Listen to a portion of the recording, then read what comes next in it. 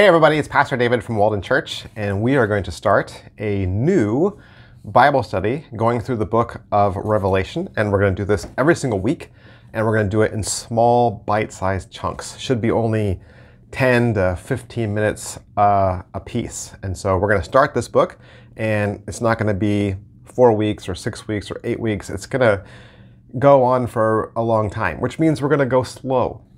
Okay, and that's that's good news, right? To go through the book of Revelation slowly. Easy to understand. I think we're going to open this book and just approach it as a letter to the church. Because that's what it is, right? The book of Revelation is a letter to the church. God writing a letter to us. And I think if God wrote you a letter, you'd want to know what it said. You'd want to know how to read it. And I think when we think about Revelation, we always think of it as being a scary book. And it shouldn't be scary, right? It shouldn't be uh, a book we avoid. We think it has all of these like Dante's Inferno type imagery uh, and, and, and, and symbolism. And so we think that, well, it can't be understood or it, or it can't be properly understood or there's too many ways to interpret it.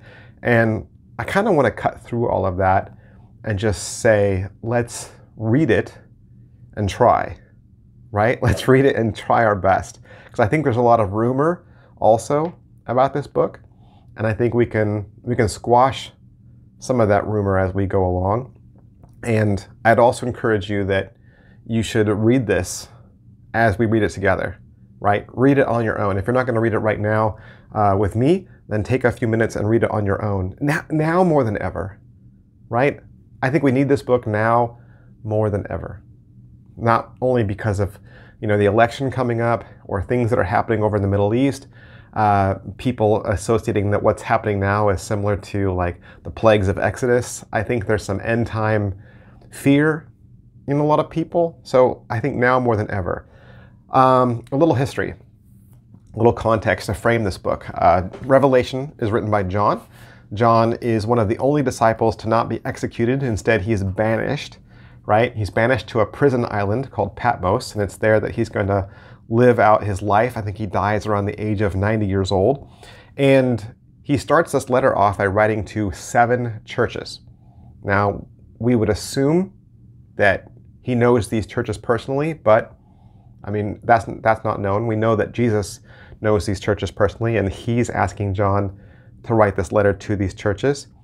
Um, and just like John being in prison, and him feeling like he is persecuted by Rome, these churches are persecuted by Rome. And so John is instructing these churches to remain faithful. In chapter 1, where we're going to start, the church is identified as a lampstand. So when you see the word lampstand at the very beginning, um, each one of those lampstands is a representation for one of the churches. So we are a light, right? We are a light on a hill or a light on a stand. And certainly that's one of the teachings that Jesus had. Matthew 5, verse 14 through 16 says, You are the light of the world. A city set on a hill cannot be hidden, nor do people light a lamp and put it under a basket, but on a stand. And it gives light to all the house. In the same way, let your light shine before others, so that they may see your good works and give glory to your Father who is in heaven. And I would think the takeaway from that is that we are to be the light.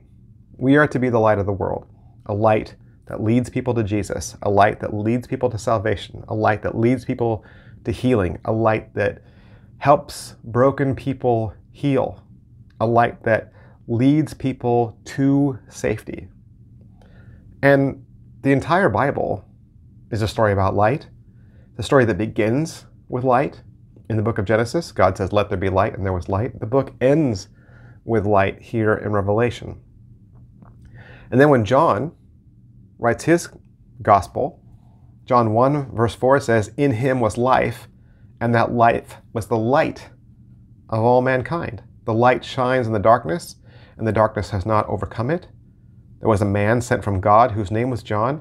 He came as a witness to testify concerning that light, so that through him all might believe. Now he himself was not the light, he came only as a witness to the light. The true light that gives light to everyone was coming to the world.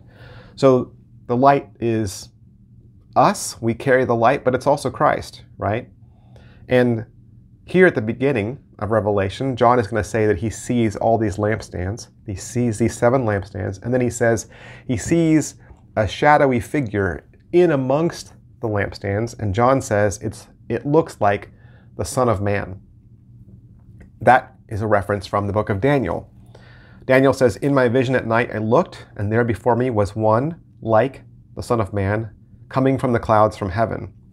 And this is how Jesus referred to himself. It was Jesus' most popular, most famous way of describing himself. Jesus called himself the Son of Man. It was a reference to this passage from Daniel. So I think you've got enough information to start reading Revelation chapter 1. I think you have enough backstory, right? So let, let's start. Revelation chapter 1, we're going to read the first three verses. The revelation of Jesus Christ, which God gave him to show to his servants the things that must soon take place. He made it known by sending his angel to his servant John, who bore witness to the word of God and to the testimony of Jesus Christ, even to all that he saw. Blessed is the one who reads aloud the words of this prophecy, and blessed are those who hear, and who keep what is written in it, for the time is near. Notice that the passage begins with the revelation of Jesus Christ. Now, this is where the title comes from, right? It's a revelation, and it's revealing who Jesus Christ is. Well, isn't that the entire purpose of the Bible? To reveal who Jesus Christ is? And John makes it his thesis statement. He puts it right there at the top. It's at the very beginning. Of course, this book talks about end times. Of course, this book talks about prophecy. But just like any other book in the Bible, it's also a book about who Jesus Christ is. That's the purpose of this book. So we should be able to read this book and get a clear picture of who Jesus is. I think when you read the Gospels, Matthew, Mark, Luke, and John, you get a picture of the human side of Jesus, right? You see the flesh and blood Jesus. You see the Jesus that uh, forgave and healed and who died on the cross. But after that, Jesus goes to heaven. He hasn't been as close to the church physically. And now the church is fledgling, it's a startup, it's on its own, it's trying. There's this oppressive government that's fighting against it and fighting back on their beliefs, and the church is very counterculture right now, and it's stepping out into the picture for the first time. And now the church is going to get hope and inspiration from a kingly Jesus, right? A, a lion Jesus, a, a, a, more godly picture of Christ, a, a Christ who sits on the throne. So reading Revelation should really be exciting because this is a new picture of Jesus that we haven't had before. Before, we've had this shepherd Jesus walking through dirt roads and sandals. Now we're going to see this heavenly being, Jesus in all his glory. And I think Revelation also reveals like the vast gap that takes place between us and God, right? In the, in the Gospels, Jesus and us, we were very close, very on the same plane. Jesus was relatable. Revelation is going to put the separation there and say, oh, well, there's there's this, and then there's this, right? There's there's us, and then there's God. There's there's our power, and there's God's power. There's what we can do, and there's what God can do. And I think that's exciting. We need this.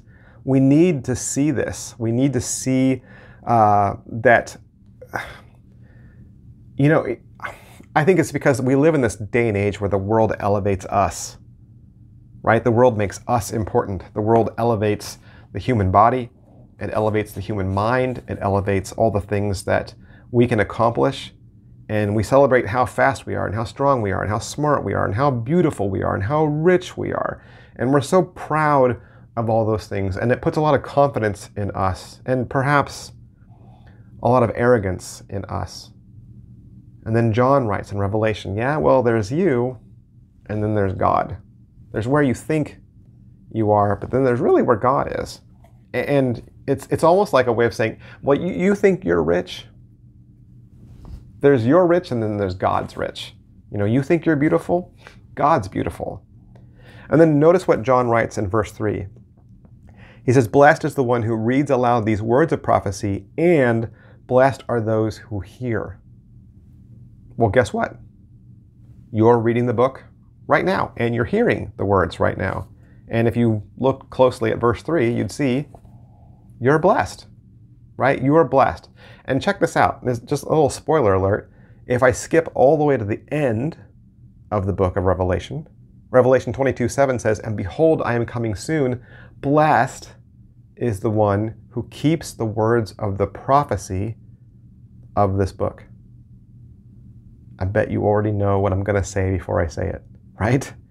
This is the only book in the Bible that begins and ends with a blessing for those who read it. And yet, we don't read it, we ignore it. Don't you want blessing in your life? I do. So I think we got to be stop uh, being scared of this book. Right, church? I think we need to read it. God says, read it. Let's read it. Verse 4 says, John to the seven churches that are in Asia. It's a very formal way of writing a letter. The letter is to real churches. They are all in and around modern day Turkey, and they were the first readers of this book. I think if God was going to write a letter to seven real churches who live in the first century, and this book is going to be a letter of encouragement, a letter of hope, a letter of maybe here's some things where, you know, I wish you guys would do better. Wouldn't you think that you'd write a letter that they could understand? Of course. They understood this book. So if they understood this book, with God's direction, we should be able to understand this book also, right? It says, Grace to you and peace from him who is, and who was, and who is to come. Who's that? It's God, right? And from the seven spirits who are before his throne, and from Jesus Christ, the faithful witness, the firstborn of the dead, and the ruler of kings on earth. Okay, there was a lot there, right? There was. There's greetings from God, greetings from Jesus, and greetings from the seven spirits before the throne. And this is where you say, I'm already lost. I'm barely a couple verses into this book and I'm already lost. Uh, don't, don't panic. Think about everything rationally, okay? John says this letter is from God, Jesus, and the seven spirits. Rationally, who is worthy to be listed in the same sentence as God and Jesus? The Holy Spirit, right? Absolutely. Nobody else is worthy to be in that place.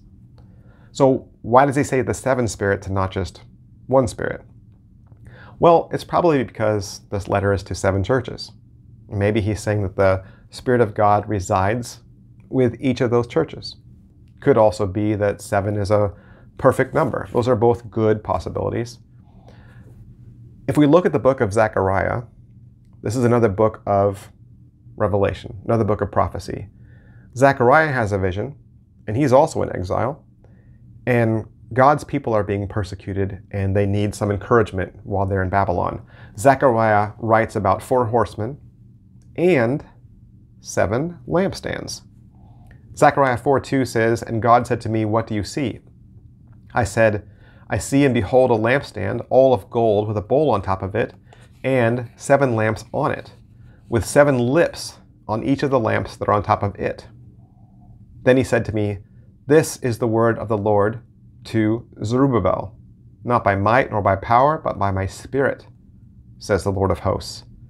Verse 10 These seven are the eyes of the Lord, which range through the whole earth. So, what is the symbolism of these seven lampstands here? God says they carry his spirit, and that the seven eyes range through the earth. I know that's not totally understandable. I get it. It's not totally clear. But remember, we're talking about God. And I think that's part of the struggle. We want God to be easily understood. God is not easily understood. I know you want it to be easy. I know you want to read this book and you want to have everything clearly spelled out for you. And it's nice. It is nice to sit in church. It's nice to sit in Sunday school and to have everything spelled out for us. But part of reading this book is the struggle.